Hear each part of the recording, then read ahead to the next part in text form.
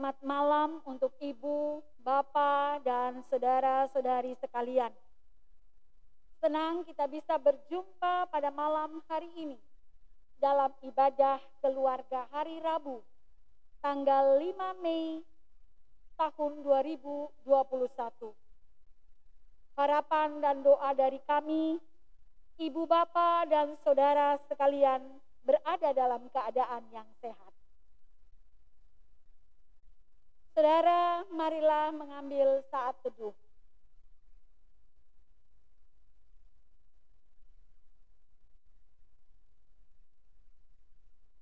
Laksana mentari pagi yang setia bersinar untuk menyinari dan menghidupkan bumi ini.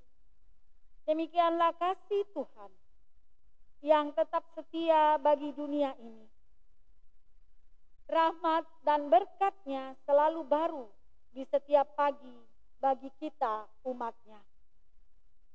Mari beribadah dalam ketaatan dan kesetiaan kepada Allah kita.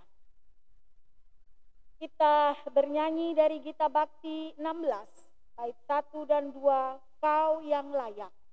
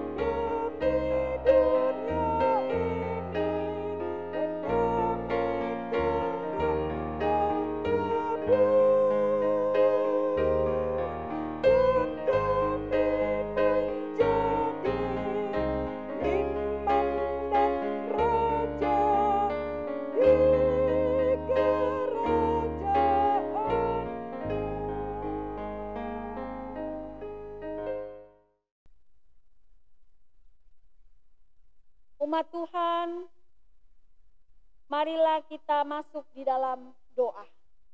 Kita berdoa.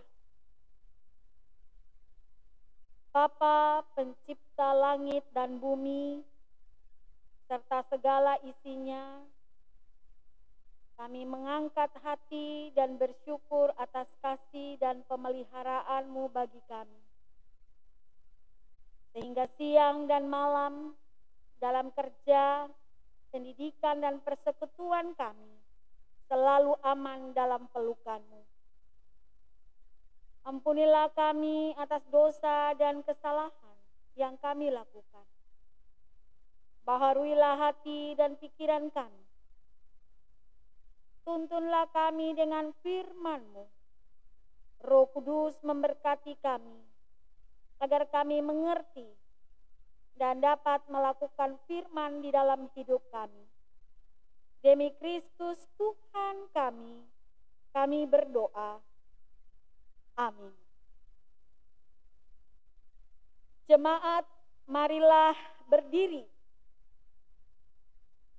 untuk mendengarkan firman Tuhan yang dibacakan dari kitab Hosea pasal 3 ayat 1 hingga 5. Kitab Hosea pasal 3 ayat 1 hingga ayatnya yang kelima yang menyatakan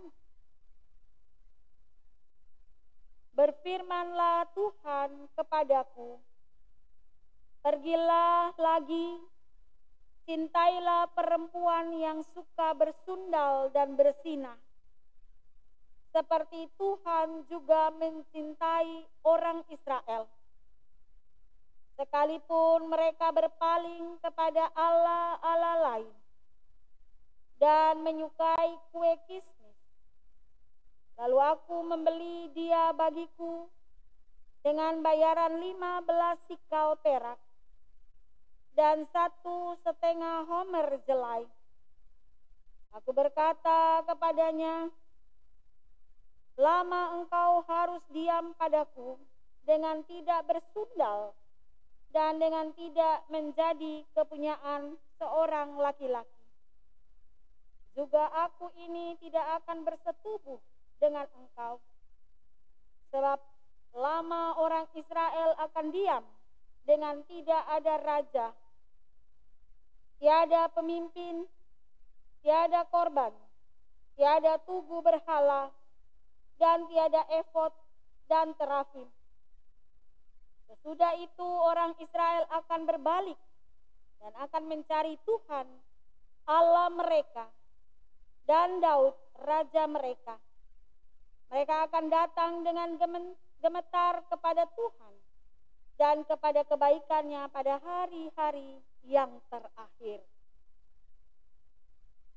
Demikianlah pembacaan Alkitab. Berbahagialah semua orang yang mendengar firman Tuhan dan melakukannya. Terpujilah Tuhan Yesus. Haleluya.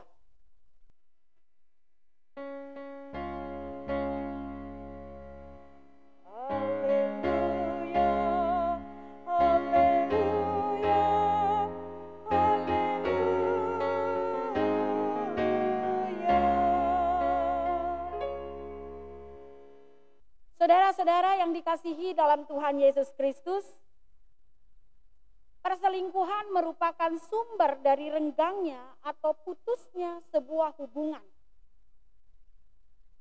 Baik itu adalah hubungan suami istri maupun hubungan pertemanan serta dalam kerja dan mengembangkan usaha. Sebab selingkuh adalah sebuah pengkhianatan dari satu pihak atau kedua belah pihak terhadap kesepakatan yang telah ditetapkan bersama-sama. Nah, akibat dari perselingkuhan itu tidak hanya renggangnya atau putusnya sebuah hubungan saja, tetapi juga hilangnya kepercayaan terhadap yang melakukan perselingkuhan dan melahirkan kebencian yang amat sangat karena merasa disakiti dan ditusuk dari belakang. Sehingga tidak mudah untuk kembali membangun hubungan di antara keduanya. Tetapi apa yang dialami Hosea yang beristrikan Gomer yang tidak setia dan dalam ketidaksetiaan Gomer itu melahirkan rasa sakit yang luar biasa terhadap Hosea. Sebab Gomer tidak hanya mencintai Hosea saja, tetapi ia juga membagikan juga demi sesuatu bagi laki-laki lain. Dan ini adalah sesuatu yang menyakitkan. yang di dalamnya membuat hubungan menjadi renggang atau terputus. Nah, dalam konteks inilah dalam ayat 1 dikatakan Tuhan Allah berfirman, "Pergilah, cintailah perempuan yang suka bersundal dan bersinah." Saudara, tentu ini bukanlah sesuatu yang mudah. Sebab Gomer sudah pernah mengkhianati dan memberi rasa sakit kepada Hosea. Gomer tidak dapat menjaga atau memberikan cintanya secara utuh kepada Hosea. Bagaimana mungkin cinta dapat terjaga secara sepihak saja? Bagaimana mungkin cinta dapat dibangun secara sepihak saja? Bukankah cinta itu akan dapat terbangun dan terjaga jika saling mencintai satu dengan yang lain? Ini adalah hal yang sulit. Tetapi Allah mau agar Hosea meneladani hidup dan kehidupan keluarga yang takut akan Tuhan. Yang di dalamnya adalah belajar mengasihi dan mencintai. Belajar merangkul kembali dan memberi maaf atau melepaskan pengampunan sebagaimana yang diteladankan oleh Tuhan. Allah mengasihi umat yang tidak setia. Israel yang tidak setia. Israel yang berjalan jauh meninggalkan jalan Allah.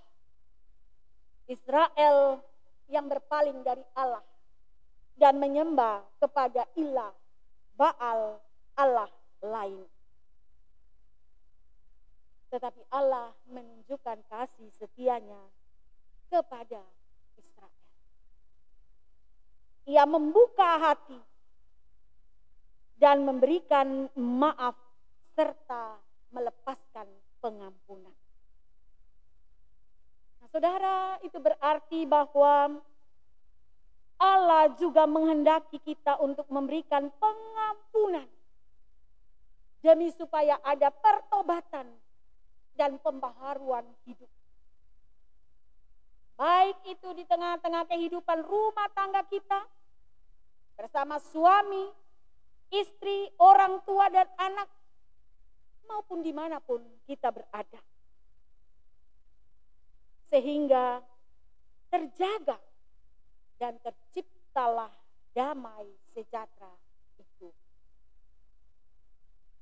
sebagaimana pengampunan yang diberikan Allah kepada kita yang sering kali tidak setia kepadanya supaya kita memperoleh damai sejahtera itu. Saudara, kita semua adalah orang berdosa. Ada banyak salah dan dosa yang kita lakukan ada yang terlihat dan diketahui oleh orang lain. Ada juga dosa dan kesalahan yang tidak terlihat atau luput dari pandangan orang lain. Namun Tuhan tahu apa yang kita lakukan dan perbuatkan.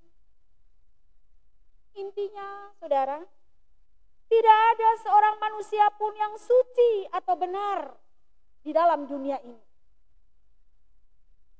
Tetapi oleh karena kasihnya, Kristus rela menderita untuk menanggung dosa kita.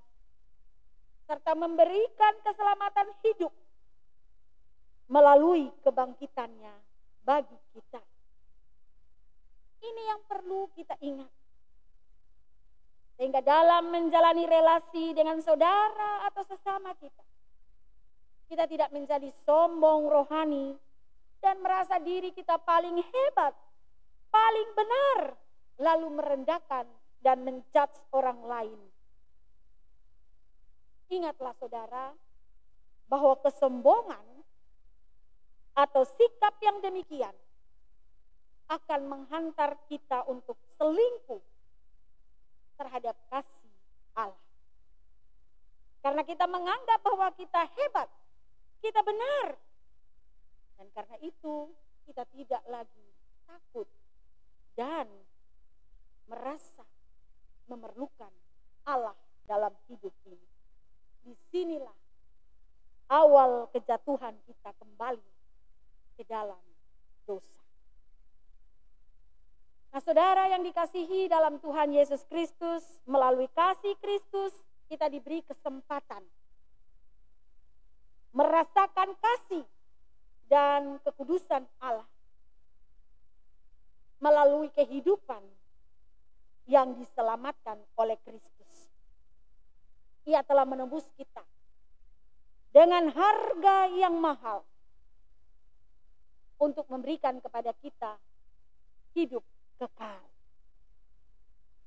Maka marilah kita meneladani cinta kasih Tuhan itu dalam kehidupan kita di dunia ini.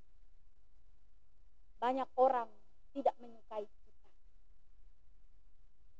Banyak terjadi persoalan-persoalan di seputar iman kita yang mengguncangkan kita. Peristiwa Makassar dan beberapa peristiwa lainnya yang merupakan sebuah bentuk penolakan terhadap kehadiran kita di tengah-tengah negara ini. Tetapi Allah mengajarkan kepada kita untuk lepaskanlah pengampunan. Berikan maaf. Pulihkan keadaan lewat kasihmu sehingga ada kedamaian, kerukunan. Di sanalah berkat dan rahmat Tuhan berkenan dinyatakan bagi kita. Tuhan Yesus memberkati kita. Amin.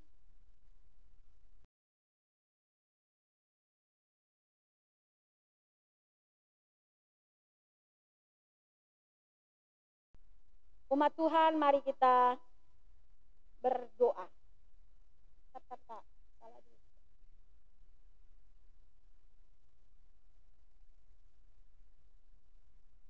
Ulang ya kak, doanya ulang ya. Umat Tuhan, mari kita berdoa. Terima kasih untuk firman yang kau berikan buat kami pada hari ini ya Bapak betapa engkau mengasihi umatmu dan karena itu engkau memberikan kepada kami pengampunan. Engkau menebus kami dengan harga yang mahal melalui penderitaan dan kematianmu di atas kayu salib agar kami memperoleh keselamatan hidup. Lalu engkau mengajarkan kepada kami untuk menyatakan kebaikan Tuhan itu, kasih Tuhan itu dalam kehidupan kami. Baik rumah tangga kami, sama suami, istri, anak orang tua kami, dan juga sesama kami. Agar kami juga menyatakan kebaikan dan kasih Allah itu kepada dunia. Memang tidak mudah, tetapi betapa besarnya kasihmu bagi kami. Hendak itulah yang mendorong kami dan meneguhkan kami untuk menyatakan kebaikan Tuhan dalam hidup ini. Terima kasih untuk kebenaran firman yang kau berikan buat kami hari ini. Bapak kami mau berdoa bagi pemerintah bangsa dan negara kami Indonesia. Kasih Tuhan memberkati akan kehidupan bangsa dan negara kami. Bapak Presiden, Bapak Wakil Presiden, para menteri, TNI, Polri, dan seluruh aparat-aparat negara. Biarlah kami bersatu hati membangun negeri kami tercinta.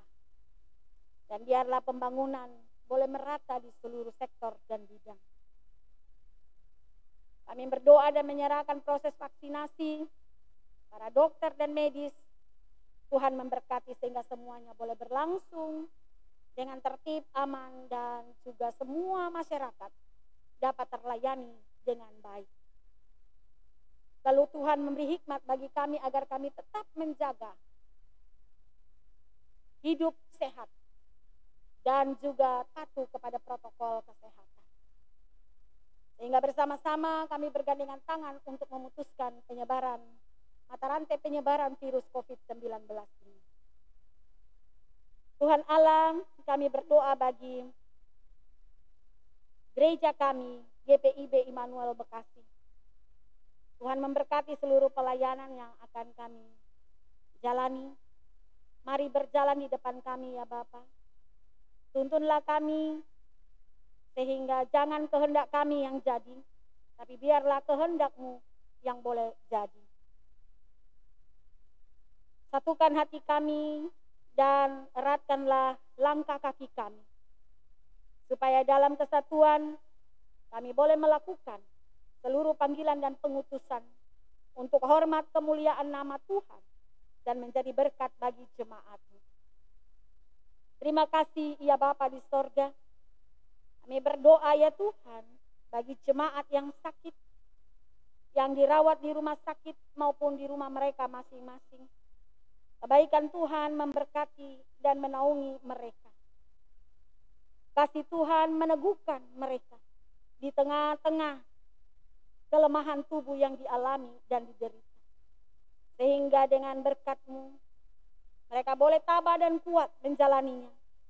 Dan meyakini bahwa kuasamu memberkati para medis dan obat-obat yang mereka makan dan minum. Dan kami percaya bahwa kuasamu memberikan kepulihan dan kesembuhan juga bagi saudara-saudara kami yang menaruh pengharapan kepadamu Tuhan. Kami berdoa ya Tuhan bagi keluarga kami masing-masing. Tuhan memberkati keluarga kami. Kami sebagai bapak kepala keluarga, ibu rumah tangga, dan juga anak-anak serta orang tua. Biarlah kami boleh hidup dalam cinta kasih Tuhan. Sehingga damai sejahtera ada di tengah-tengah kehidupan rumah tangga kami. Kami boleh saling menghormati satu dengan yang lain, mengasihi dan menopang satu dengan yang lain. Dan biarlah Tuhan kebaikan itu boleh dinyatakan juga dalam kehidupan kami bersama dengan sesama. Tuhan Allah kami berdoa dan juga memohon kebaikan Tuhan dalam proses pendidikan anak-anak kami. Biarlah Engkau boleh memberkati anak-anak kami yang sedang melakukan pendidikan dari rumah mereka. Kebaikan Allah memberikan ketekunan, kekuatan, semangat, dan hikmatmu menaungi mereka. Sehingga dalam terang kasih Tuhan, anak-anak kami ini juga akan meraih masa depan dan cita-cita mereka bersama denganmu Tuhan. Terima kasih ya Bapa di sorga. Akhirnya kami berdoa juga bagi semua kami yang bersuka cita di minggu ini karena bertambah usia hidup maupun juga dalam kehidupan berumah tangga. Tuhan memberkati dan menyempurnakan sukacita kami. Dan biarlah kekuatan dan kasih Tuhan akan menyinari dan menuntun kami dalam menjalani usia baru pemberian Tuhan dalam hidup kami. Terima kasih ya Bapa di sorga. Inilah doa dan sembahyang kami yang kami naikkan dan alaskan hanya di dalam nama Yesus Kristus yang adalah Tuhan dan Juru Selamat hidup kami dan yang sudah mengajar kami berdoa bersama. Bapa kami yang di sorga, dikuduskanlah namamu, datanglah kerajaanmu, jadilah kehendakmu di bumi seperti di sorga. Berikanlah kami pada hari ini makanan kami yang secukupnya. Dan ampunilah kami akan kesalahan kami. Seperti kami juga mengampuni orang yang bersalah kepada kami. Dan janganlah membawa kami ke dalam pencobaan. Tetapi lepaskanlah kami daripada yang jahat. umat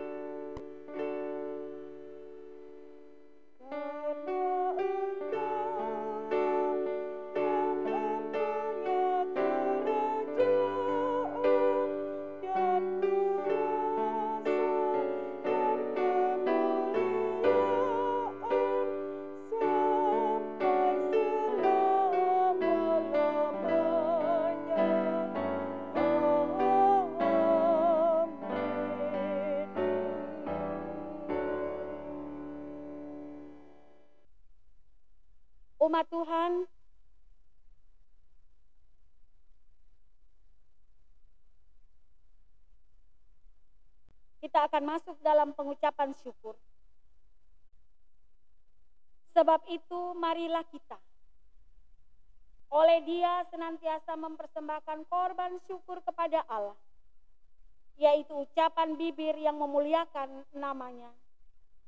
Dan janganlah kamu lupa berbuat baik dan memberi bantuan, sebab korban-korban yang demikianlah yang berkenan kepada Allah. Ibrani pasal 13 ayat 15 hingga 16. Kiranya Allah berkenan atas pemberian kita dan menguduskan persembahan kita kepadanya.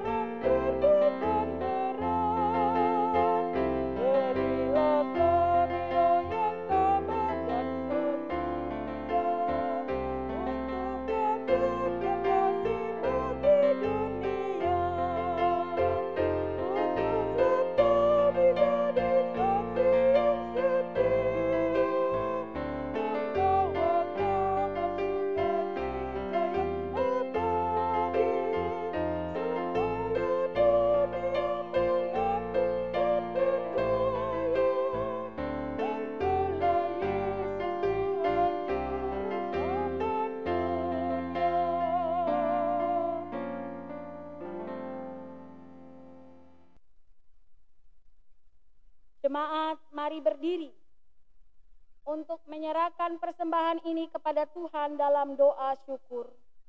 Kita berdoa. Ya Tuhan Yesus, kami bersyukur kepadamu karena kasih dan pengorbananmu mendorong kami untuk memberi persembahan sukarela ini. Kami sadar bahwa persembahan kami ini tidak sebanding dengan kurban tubuh dan darahmu yang engkau persembahkan bagi kami dan dunia ini. Terima serta kuduskanlah ya Tuhan, agar berguna untuk pelayanan kasih dan keadilan. Demi kemuliaanmu. Amin. Angkatlah hati dan arahkanlah pikiranmu kepada Tuhan serta terimalah berkatnya. Kasih karunia Tuhan Yesus Kristus, kasih Allah Bapa dan persekutuan Roh Kudus menyertai kamu sekalian. thank you